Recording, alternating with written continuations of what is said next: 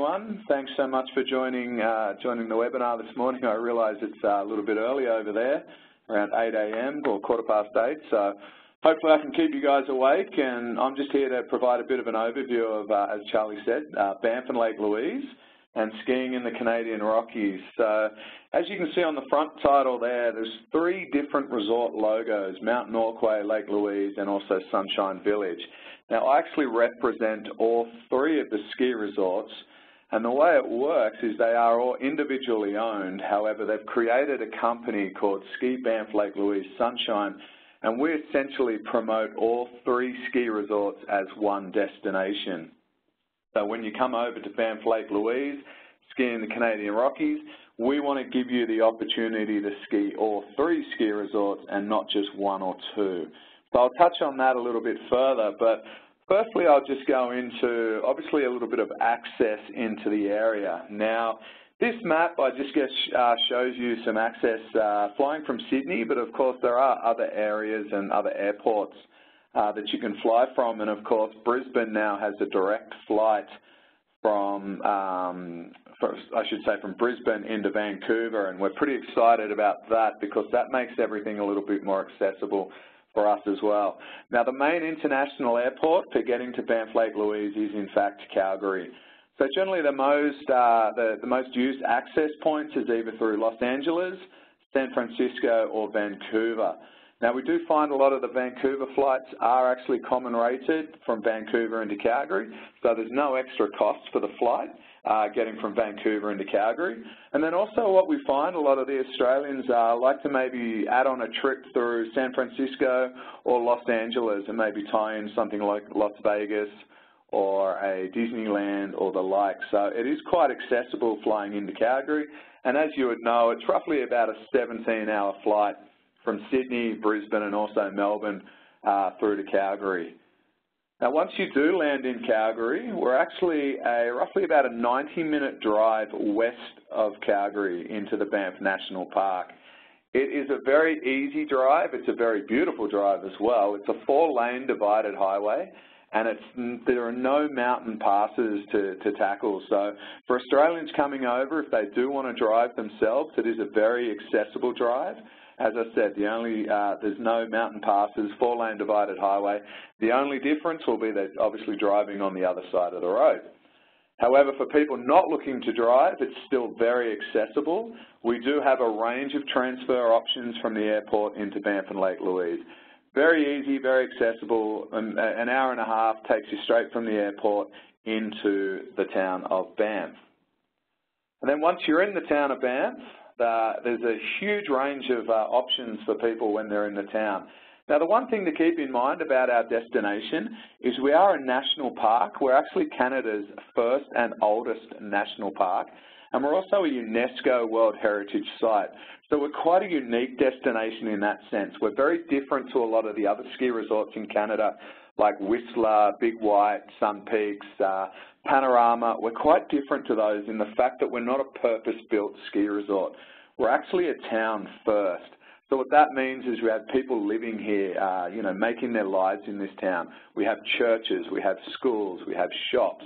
So it's a really unique experience and it's a very different experience. We like to think uh, of it as an authentic mountain town experience. And when you're in town, there's a huge range of options for people. So as you can see, 130 odd night spots, local pubs, uh, nightclubs, restaurants, uh, some fantastic shopping, something for everyone, and a huge range of hotels and restaurants and also award-winning spas as well. So we're a really good family destination and we're a really popular destination for all walks of life, no matter what interest you, you're into. And this is just a shot of downtown Banff at the town. As you can see, really surrounded by mountains. This is one view, but if you looked at any other view, it would be the same, uh, same scenario. We actually have a law in town going along with the national park. You cannot build higher than three stories in town. So what that means is we keep that real authentic feeling and we keep that view. So this view that you see will never be disrupted by like a 15-story hotel. So we keep it pristine and we keep it the way Mother Nature intended. Very accessible town, so a lot of uh, shops in very close proximity.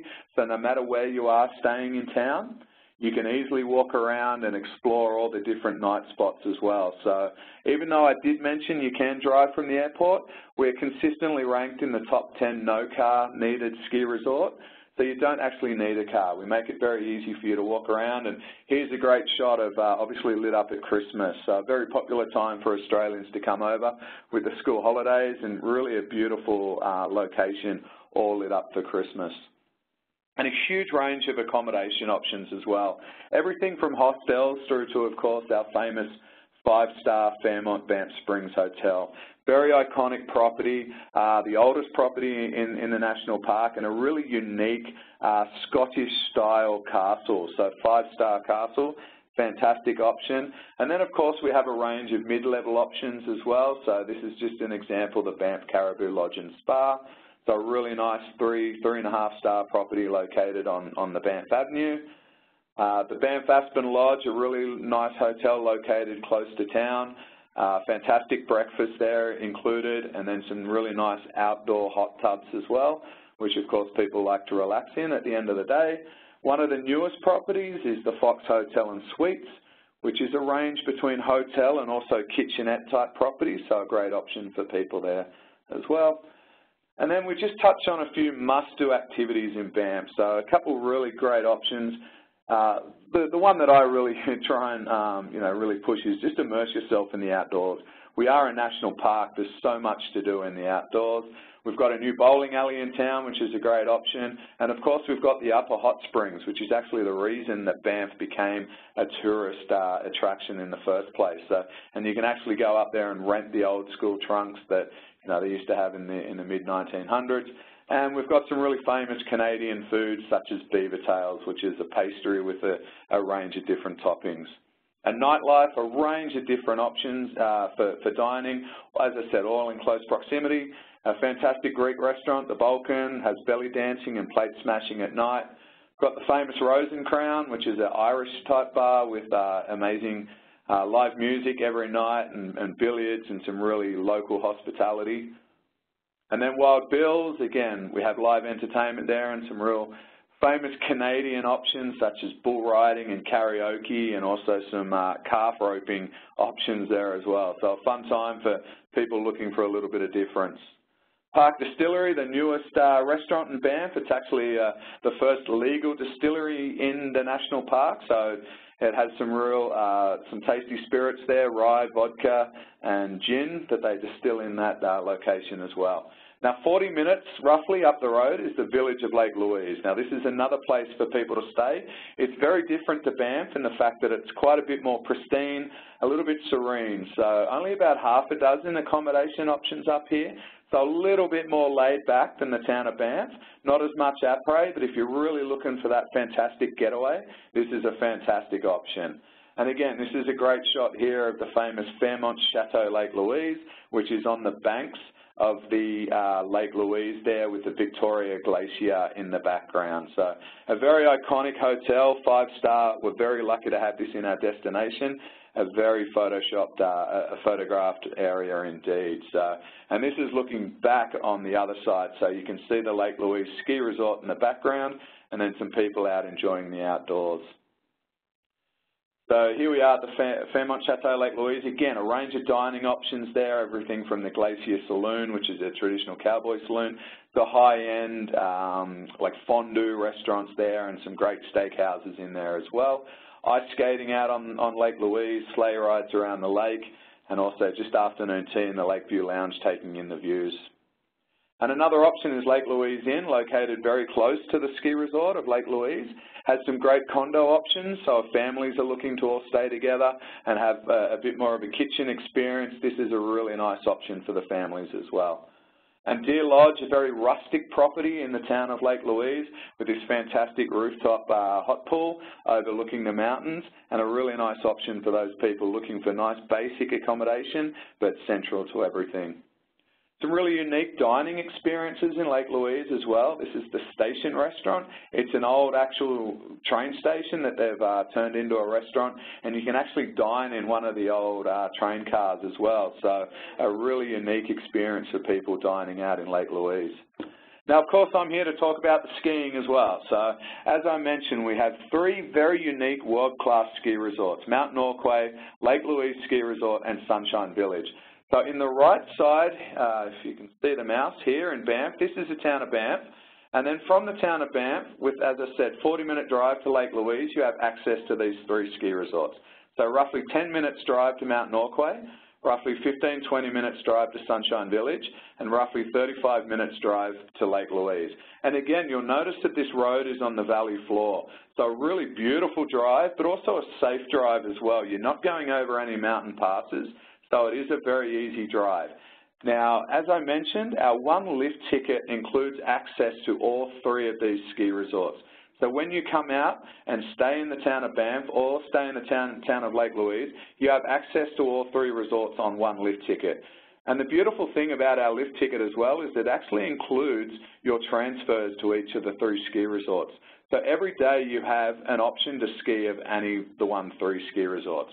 And this is where we differ a little bit again to some of the major ski, the other ski resorts in Canada. Being in a national park and a UNESCO World Heritage Site, we don't have a huge range of ski in, ski out accommodation. You do have to travel to the resorts, but as I said, we make it very easy by including the, tra the transfers in the lift ticket. And once I run through the resorts a little bit, you'll see why we don't overdevelop them. We like to keep them the way Mother Nature intended them and keep them pristine and really just let the views and the skiing do the talking. So the first one I'll touch on is Lake Louise Ski Resort. Really well known for its scenery. So it's consistently ranked in the top three, if not the most scenic ski resort in North America.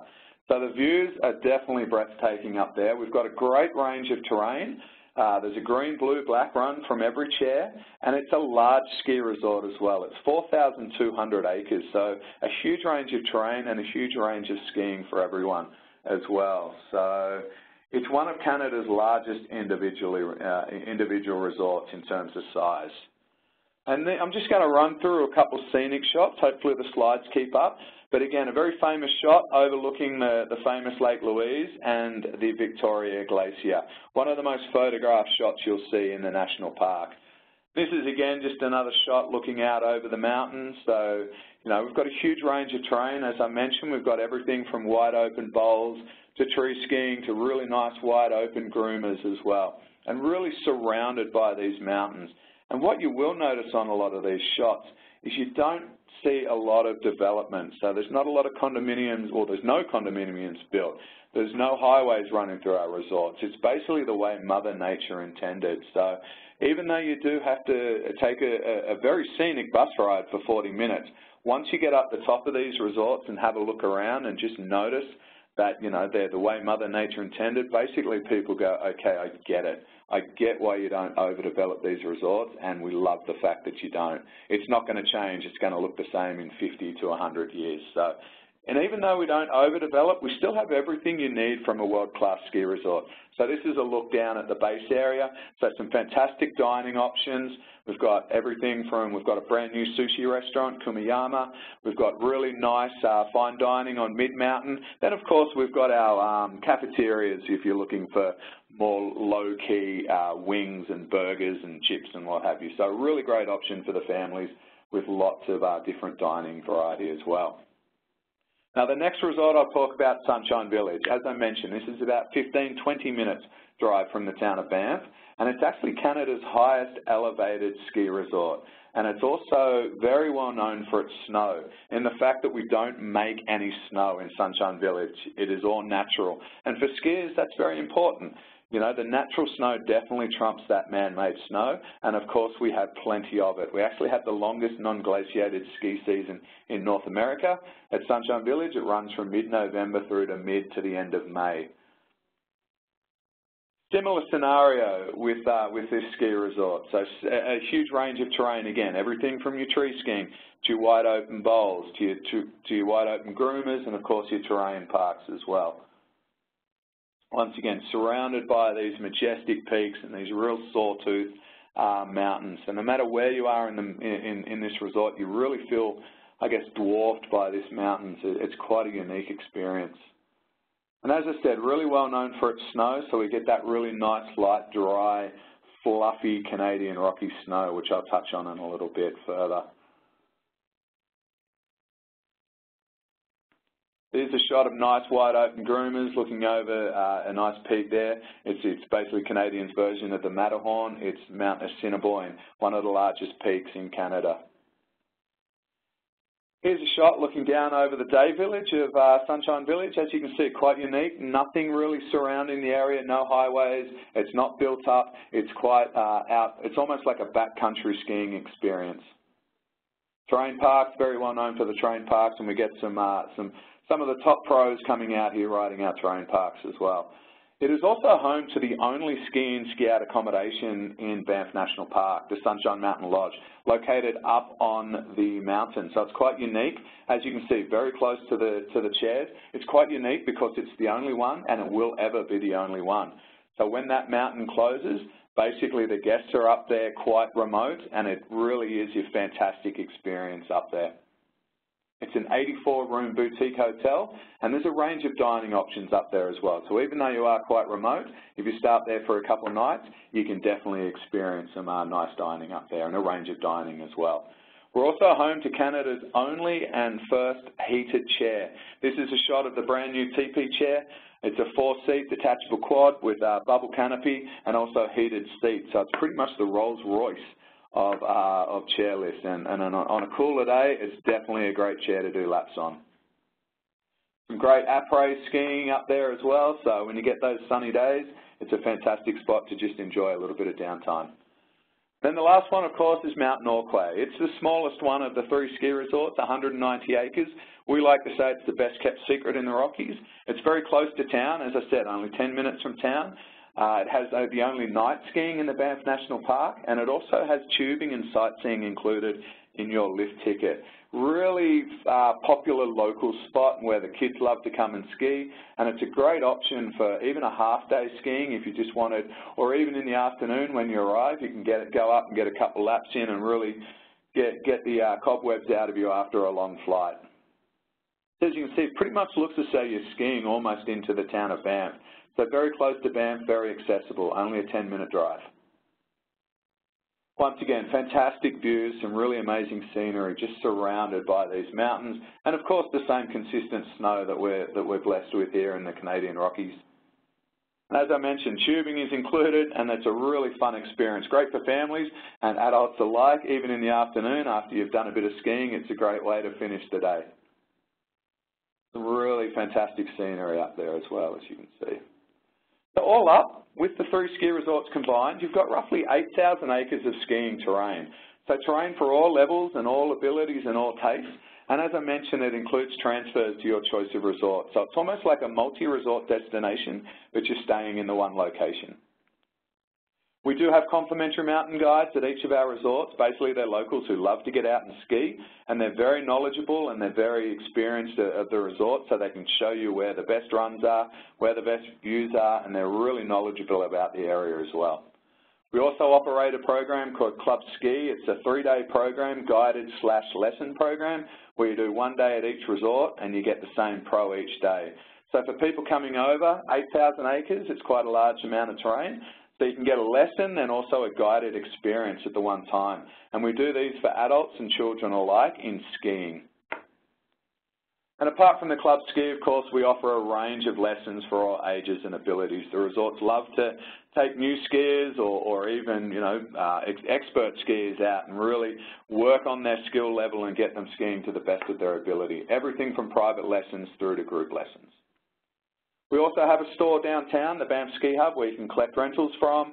Uh, it's also retail, and it's a great information spot for people who may have some questions or looking for some last-minute information. So as I mentioned, average of 30 feet of dry champagne powder. Of course, for our location inland and also northern location, we get that really nice, light, beautiful, dry champagne, champagne powder, different to the coastal resorts. It's really light, it's really dry, and it's what everyone really wants to ski on.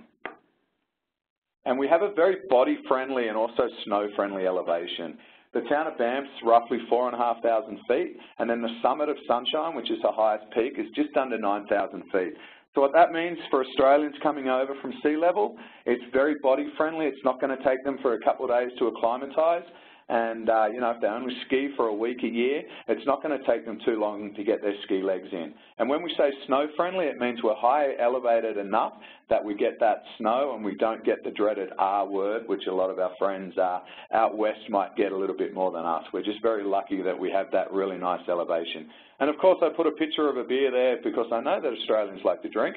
You probably tell that I am Australian, you can tell. So with that body-friendly elevation, you can have a few beers and it, can, and it won't affect you too much, which I know is very important on a ski holiday. So of course, being in a national park, we have a range of non-ski activities. We realise that we get a lot of non-skiers come over and also people coming over for a week might not want to ski every day.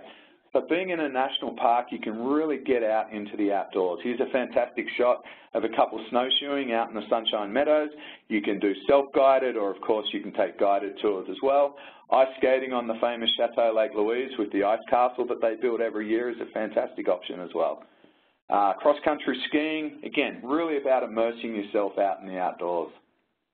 Dog sledding, very famous option as well. You can either sit in the basket yourself with a guide um, leading the team, or you can lead a team yourself as well. Ice climbing, really great option looking up uh, here at Johnston Canyon for a little bit more adventurous. Or if you just want to take in the sights, there's plenty of time to take in the views and sit on, just take, take it easy. And of course the Banff Upper Hot Springs, as I mentioned before, really famous and iconic uh, experience here in the town of Banff. And of course, being in a national park, you've got to meet the locals, which is the wildlife that we share the national park with. Now, these guys are pretty much everywhere around the national park. So here's a shot of a nice elk, which you'll pretty much be guaranteed to see, whether it's on the way to the ski resort or even just walking around downtown, uh, you see these guys. So here's some bighorn sheep that you'll, you'll definitely see. And we've been seeing a few wolves around recently as well. So they generally keep their distance, but obviously, you know, you've just got to treat them like the wild animals that they are. And of course, there's opportunity to see bears. Mid-season, generally not as, uh, not as prevalent, of course, because they are hibernating, but early season and also in the spring, these guys definitely come out, and these are the ones that you definitely want to keep your distance from, but they're great to see from a distance. And another point that I'll touch on real quick is the exchange rate. Obviously, for Australians coming over to Canada right now, it's a fantastic value option. Uh, it's the compared to the Japanese yen and the US dollar, Canada is a really economical option. And what a lot of people don't know about Banff and Lake Louise is winter is our low season. So what that means is come winter, our, our crowds uh, die down, but more importantly, our rates go down as well. So summer being peak season means you're paying peak prices. Winter being low season means you're paying low season prices. So we're a very economical option for a ski holiday.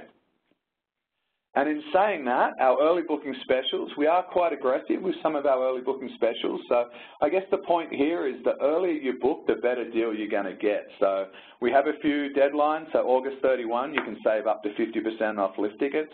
October 31, 45%, November 30, 40, 40% off lift tickets. And during this time, you can also save up to 30% off accommodation. We also have other value adds such as Kids Ski Free. Uh, this season we're also adding a free Banff Upper Hot Springs pass with every three plus day lift ticket. And we also have some value add deals throughout Banff and the resorts. So if you have a tri-area ticket, you can get some really good deals at the local bars and restaurants here in town. So we want to make it as economical uh, uh, and, and budget friendly for everyone as possible. So, and if you've got more information on this, I'm happy to, uh, sorry, if you need more information, I'm happy to answer any questions, but of course you can contact your preferred wholesaler for more details as well. They have all their rates and all their specials now and we're definitely selling. So just a quick recap, why Banff Lake Louise? Three of the world's finest ski resorts, two town sites, all located in Banff National Park, which is also a UNESCO World Heritage Site.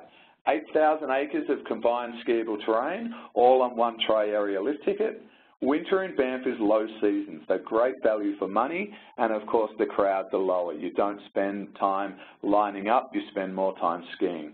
Average snowfall 30 feet or 9 metres of our famous light dry Canadian Rocky snow.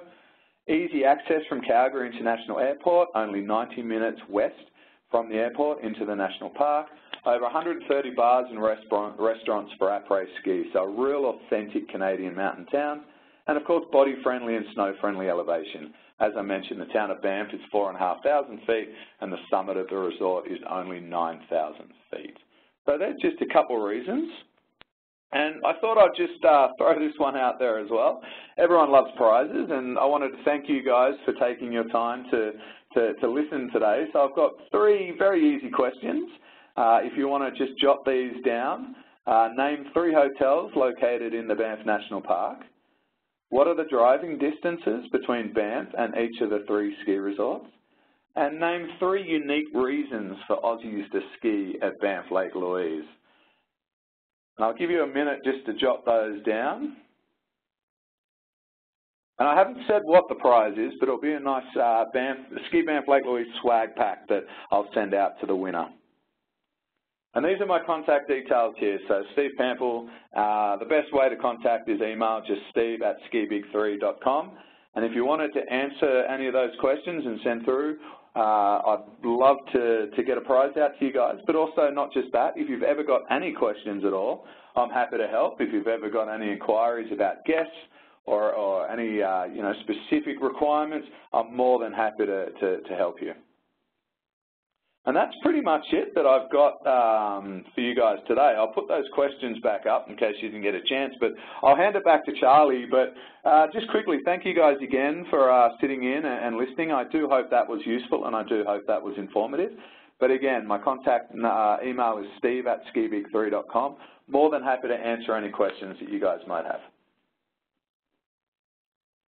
Steve, thank you so much.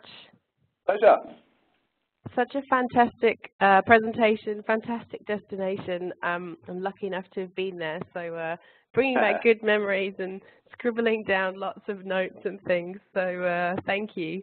And yeah, Pleasure. just touching on the things that you said. So the low season in the winter is is so fantastic. You can get such there's such great deals out there in the market right now. So uh, if anybody does have clients thinking about skiing, then uh, yeah, Banff Lake Louise is definitely uh, great place to visit. So um, hopefully you've got a bit of info now to uh, help them make that decision.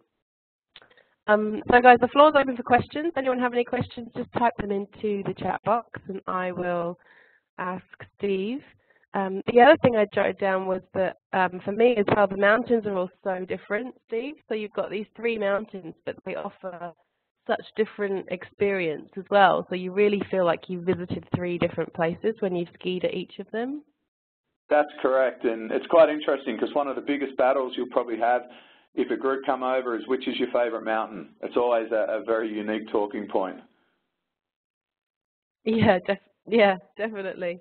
Um, and also, I guess it's great to have the option because the weather might be a bit different in Banff than in Lake Louise one day, or the snow might be a bit different. So it's really great to have, um, you know, on, on any day you can visit any resort with the with the lift pass as well. So that's right. That's you don't have to plan ahead. You can pretty much wake up and check the shuttle schedule and, and jump on one that that's heading to the resort that you want to go to. And all those beautiful pictures as well. It really, oh well, it looks better than that in real life, but the pictures are, are really lovely. So um, that was great. So, any questions? I don't think anybody's got anything coming through, and hopefully, or you're probably too busy uh, scribbling down Steve's questions. So um, that's awesome there. Thanks, Steve. Get a good uh, bag of swag from uh, yeah. from Banff and Lake Louise. Uh, Michelle says, I visited all three mountains and loved them all. Feel particularly spoilt now that I've tried the heated lift. Need to every mountain. yeah, that's right. Nice nice to stay warm on on the lift home, Michelle. Well, there you go. Another reason to uh, to visit Banff Lake Louise. Yeah. cool. Alrighty. Well, we'll sign off there then. Um, hopefully, you've all got Steve's email, and I'll do the follow up, and Steve will do some follow up as well. So. Uh, you'll have plenty of opportunities to ask questions, or obviously uh, do get in touch with your preferred ski wholesaler as well. Well, those guys are uh, experts in all this stuff.